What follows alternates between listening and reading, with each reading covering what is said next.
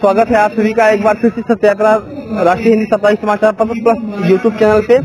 आज मैं जिस जगह पे खड़ा हूँ, वो मिर्जापुर जनपद का एक ऐसा जगह है जिसको लोग जानते हुए भी इग्नोर करते हैं। मैं आपको अपने चैनल के माध्यम से बता दूँ, आज मैं उस जगह पे खड़ा हूँ जो मिर्जापुर जनपद का एक माना जोना स्थान है, जयकर खला जयकर कला, जहाँ पे भगवान, सॉरी, जिसको भगवान की उपाधि दी जाती है स्वामी श्री अग्रान महाराज जी का वो एक पवित्र स्थान है, जहाँ पे उनके शिष्य श्री भगवान जी महाराज का एक मठ है। यहाँ पे आज त्रिशूल स्थापना के दिवस पे माननीय श्री भवन भवन महाराज जी के माध्यम से आज उनका एक कार्यक्रम रखा गया है, त्रिशूल स्थापना दिवस।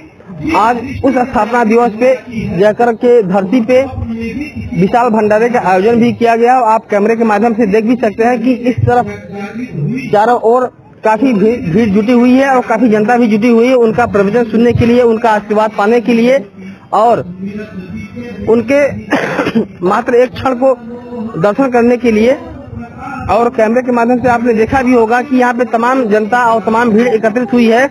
मैं यहाँ पे कुछ लोगों से वार्तालाप करूँगा कि क्यों यहाँ पे इतना भीड़ इकट्ठा हुई है और क्यों यहाँ पे लोग एकत्रित हुए हैं। मैं अपने कैमरे के माध्यम से बात- कुछ बात करना चाहता हूँ। यहाँ के लोगों यहाँ पे जो लोग मौजूद हुए हैं जो एकत्रित हुए हैं भैया क्या नाम है आपका? सभाजित यादव मेरा नाम है सर। सर आप कहाँ से आए हुए हैं? हम बहुत ही से आए हुए हैं। हम्म। आज जो आप जयकर कला में आए हुए हैं यहाँ पे कौन सा कार्यक्रम रखा गया है? किसके उपलक्ष्य में रखा गया ये भंडारा रखा गया है और कोई आदमी मानिंद आदमी है।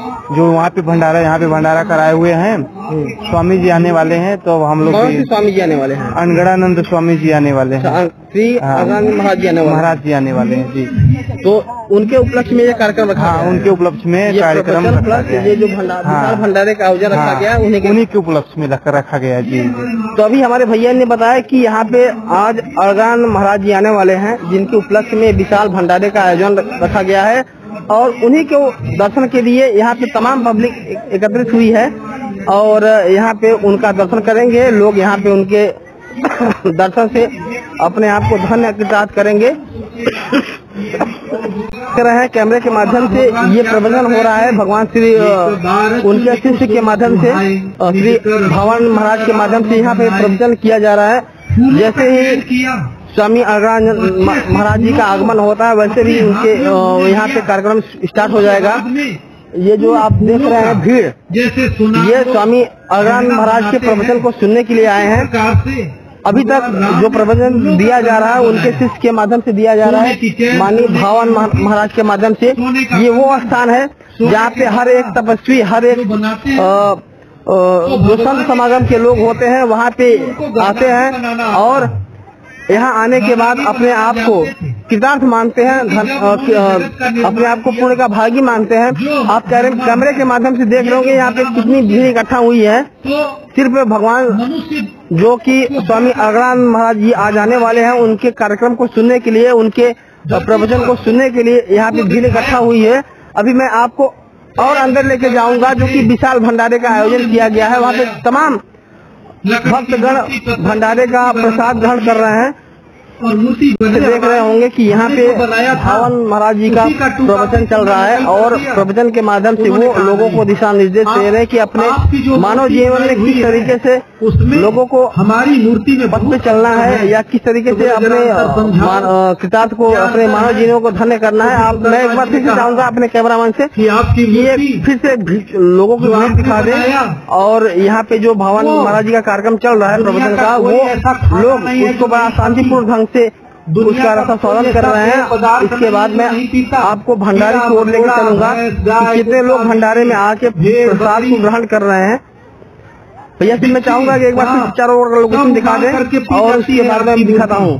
चलो। इस समय यहाँ पे खड़ा हूँ, वो महाराज भावन नंद जी के महाराज का ये रहने का स्थान है, यानी कि उनका गुरुकुल जो कहा जाता है या उनका जो मठ कहा जाता है, या उनका जो कुटी कहा जाती, कहा जाता है ये उनका आश्रम है। आप कैमरे के माध्यम से देख रहे हैं कि आश्रम को किस तरीके से सजाया गया है।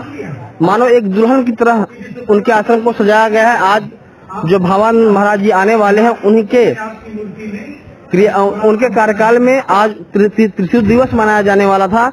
मना, मतलब मनाया जाने वाला है। आज उन्हीं के उपलक्ष्य में इस आश्रम को फूलों से सजाया गया है। क्योंकि अभी कुछ क्षण मात्र के बाद भावानंद महाराज जी का आगमन होने वाला है। उसके बाद लोग उनके अमृत वचन या अमृत वचनों के माध्यम से उनके है। आप कैमरे के माध्यम से देख भी रहे होंगे कि इस समय लगभग 500 से 800 प्रसाद कतारबद्ध होके लाइन में शांतिपूर्वक ढंग से बैठ के महाराज जी के भंडारे का प्रसाद ग्रहण कर रहे हैं। मैं अपने कैमरामैन से चाहूँगा कि चारों ओर का एक बार लोकेशन दिखा दिया जाए कि लगभग कितने लोग इस समय कतारबद्ध होके महाराज जी के भंडारे का प्रसाद ग्रहण कर रहे हैं। चारों ओर का लोकेशन दिखा दिया जाए। उसके बाद मैं भंडारे में लगे हुए जो कार्यक्रम के कार्यकर्ता गण है, मैं उनसे बात करूँगा और उनसे ये पूछूँगा कि ये कार्यक्रम कितने साल से अनवरत होता आ रहा है। अभी आप कैमरे के माध्यम से उस जगह को देख रहे हैं कि जहाँ पे भंडारा चल रहा है। और कितने लोग यहाँ पे मैं आपको दिखाऊँगा कि यहाँ पे जो अनवरत कार्यकर्ता गण लगे हुए हैं मैं उनसे वार्तालाप करूँगा कि ये जो कार्यक्रम हो रहा है ये लगभग कितने साल से अनवरत चला रहा है। या किस उपलक्ष्य में आज भंडारे का आयोजन किया गया है मैं उसको भी दिखाऊँगा। अभी मैं कुछ यहाँ पे कार्यकर्ता बंद लग, लगे हुए हैं मैं उनसे वार्तालाप करूँगा और उनसे जानूँगा कि ये जो सारा कार्यक्रम चल रहा है ये कितने साल से चल रहा है और कितने कितने सालों से अनवरत चला आ रहा है और ये क्या विशेषता है यहाँ की? या कब से इस आश्रम का निर्माण किया गया? तमाम सारी मैं, मैं बातें करूँगा। अभी मैं उस स्थान पे आ गया हूँ जहाँ पे प्रसाद जिस जगह से प्रसाद का वितरण किया जा रहा है। मैं यहाँ पे कुछ कार्यकर्ता गण हैं जो कि प्रसाद का प्रसाद वितरण का कार्यक्रम को संभाले हुए हैं। मैं इनसे वार्तालाप करूँगा कि यहाँ की यहाँ की क्या विशेषता है और ये कितने साल से इस कार्यक्रम का आयोजन किया जा रहा है और क्या यहाँ की मेन खासियत है? सर मैं आपका परिचय जाना चाहूँगा। मेरा नाम दीपक यादव है। जी सर। कहाँ के रहने वाले हैं आप? मिर्जापुर के रहने वाले हैं। ग्राम घोली है मेरा घर। अच्छा।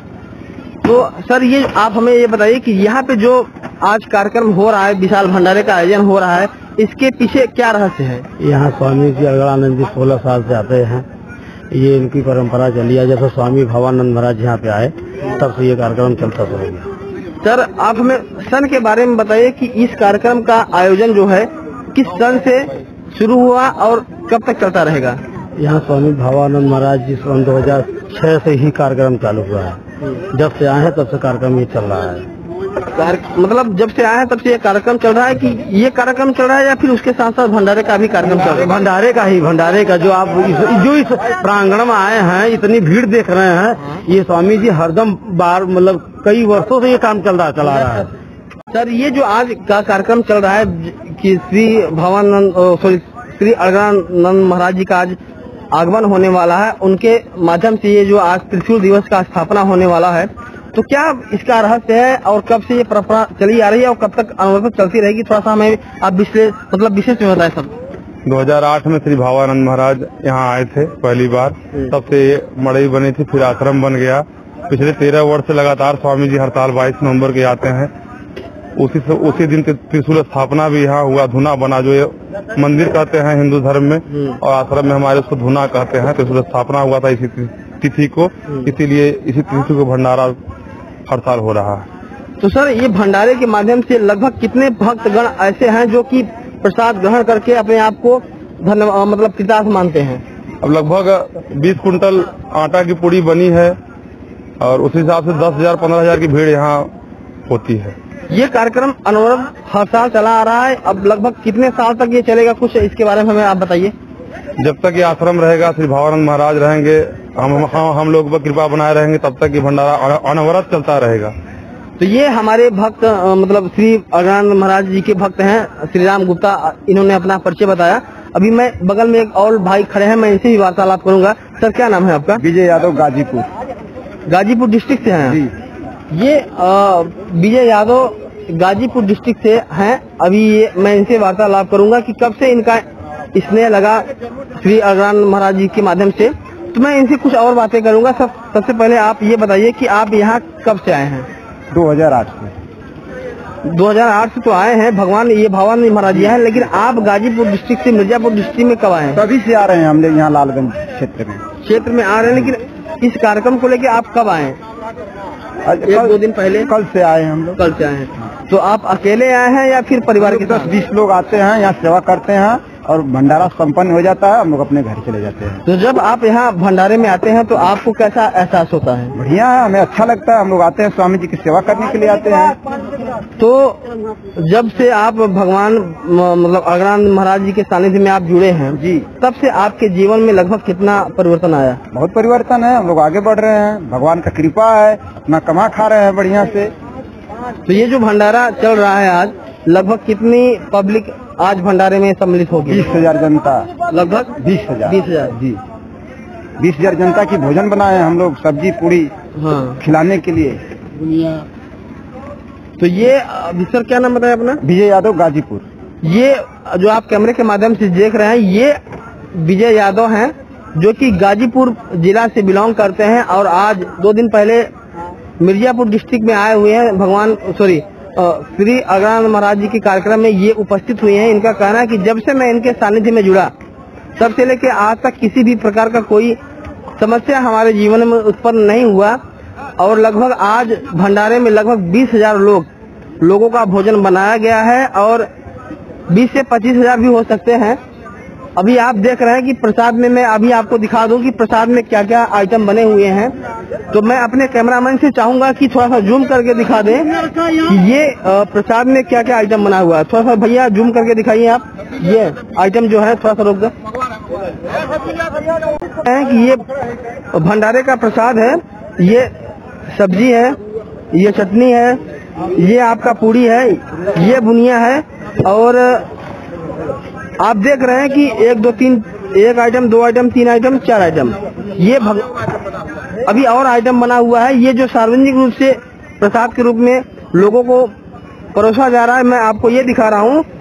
चटनी है, बुनिया है सूखी सब्ज़ी है और ये कचौड़ी है। क्या आज कार्यक्रम चल रहा है विशाल भंडारे का इसके पीछे क्या राज है? अरे भैया महाराज जी का आश्रम है भैया भक्त लोग सब आके भंडारा कर रहे हैं। जैसा कि लोगों के द्वारा बताया गया कि आज त्रिशूल स्थापना दिवस का आयोजन है तो उसमें क्या क्या फैसिलिटी रखी गई है लोगों के लिए? अरे भैया भंडारा है प्रसाद लोग ले रहे हैं प्रवचन सुन रहे हैं इसके बाद जा रहे हैं अपना।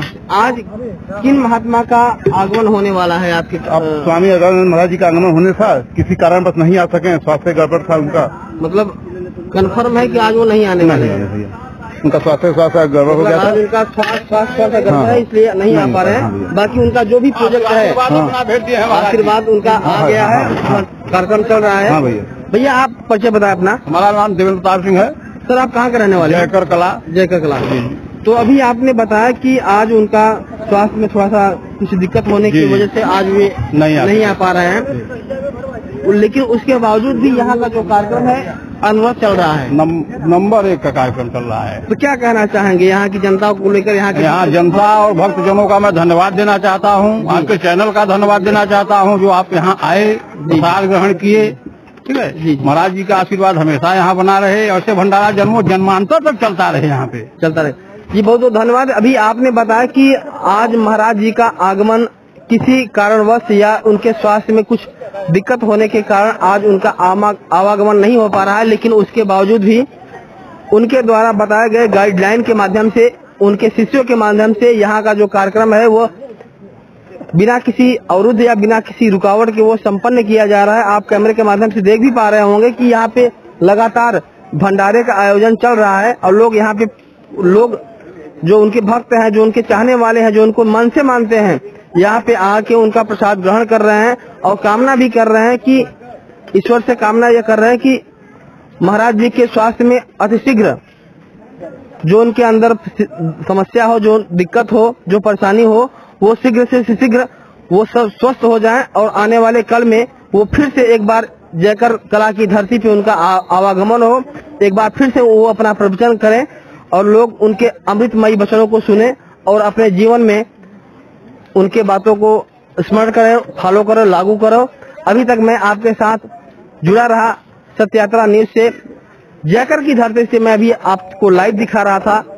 भावानंद और अग्रानंद महाराज जी के आगमन का, उनके भंडारे का अगर आपको मेरी जानकारी या मेरा सुझाव अच्छा लगा हो तो आप मेरे चैनल को लाइक करें, सब्सक्राइब सब्सक्राइब करें बिना आइकन की घंटे को दबाएँ इसी के साथ जय हिंद, जय।